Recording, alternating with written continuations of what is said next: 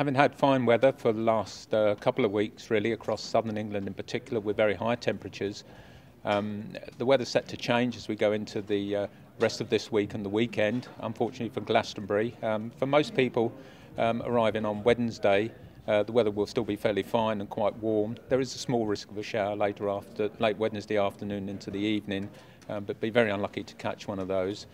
Um, over Thursday morning, um, probably starts dry, um, warms up quite nicely, uh, but there's an increase in risk then that we'll start to see some rain, particularly Thursday night and into Friday.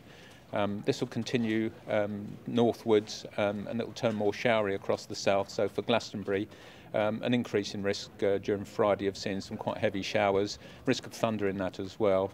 That risk continues through the rest of the weekend. And as you can see from this chart here, which uh, four frames which cover the um, Saturday and Sunday.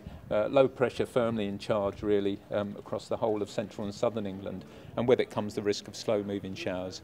As I say these could be quite heavy with the risk of thunder. Not everybody will catch them. It will be quite pleasant in between with plenty of sunny, sunny spells um, but if they do catch one it could be quite heavy, uh, quite torrential uh, and they could be quite slow moving so it could be quite prolonged.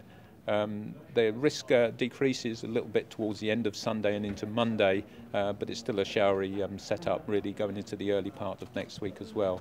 Um, for showers and the, the, detail, it's always difficult. Um, for live updates, it's best to use the uh, Met Office website just to keep uh, abreast of the latest data, uh, and that updates fairly regularly.